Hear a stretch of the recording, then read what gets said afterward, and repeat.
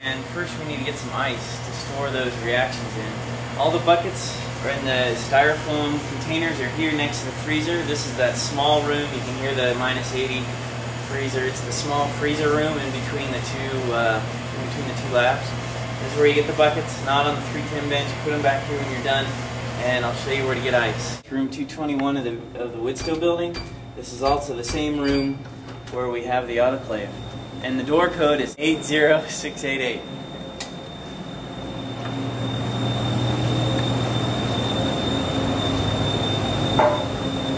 when you get ice, just always leave these on top so they don't get buried underneath.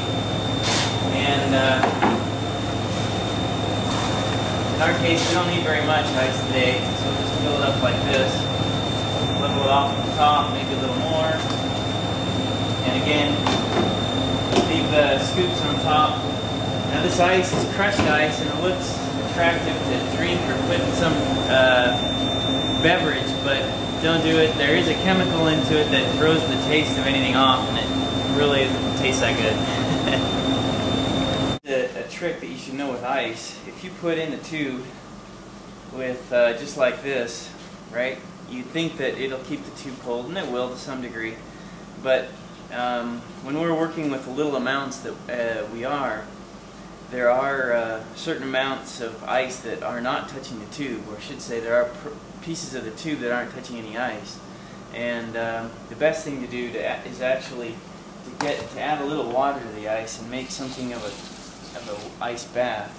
Now you don't need a whole lot, otherwise it's gonna, you know, the tube will start floating. But somewhere in there, there's a happy medium where you have a, a slushy sort of um, pool of ice and then there's some water in there to, for good contact to the tube and this is the ideal way to put your tubes in ice and keep them cold. Basically we need to wash our dishes so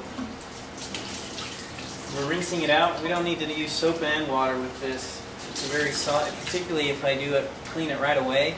I know the sugar isn't going to stick to the sides here and you can see this is four.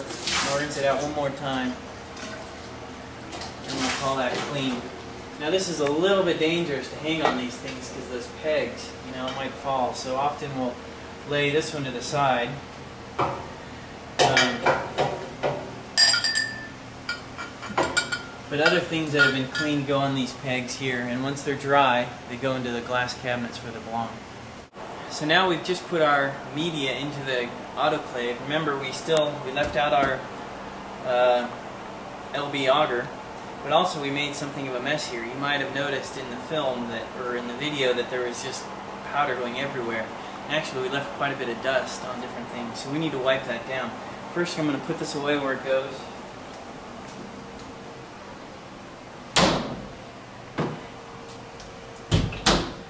Okay, second, it doesn't take, you know, a hazmat, a hazmat crew to clean up that area. It just takes a little water and some paper towels is all. And not even soap. We just need to rinse down, rinse it, or wipe it down so there isn't dust everywhere from our use of that scale. It so happens that there's a lot of things that are little white powders, right? there's a lot of white powder in that in that chemical cabinet, and you never know what's been what's been used before you, and you don't want to have something real toxic either, a white powder that, and there are some of those floating around the lab. So we're just going to wipe down the different areas here. There's a lot back here. Just to clean up our mess. Okay, gentle with the scale. I shouldn't be really move very uh, hard at all.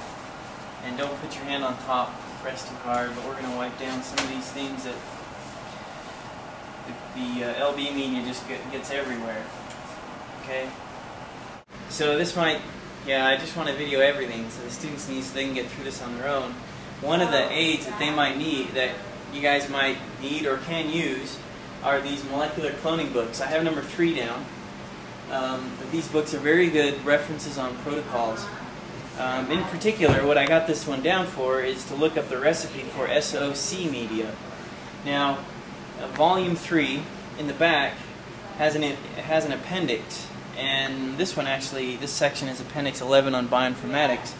But if you go back, here's commonly used techniques in molecular cloning.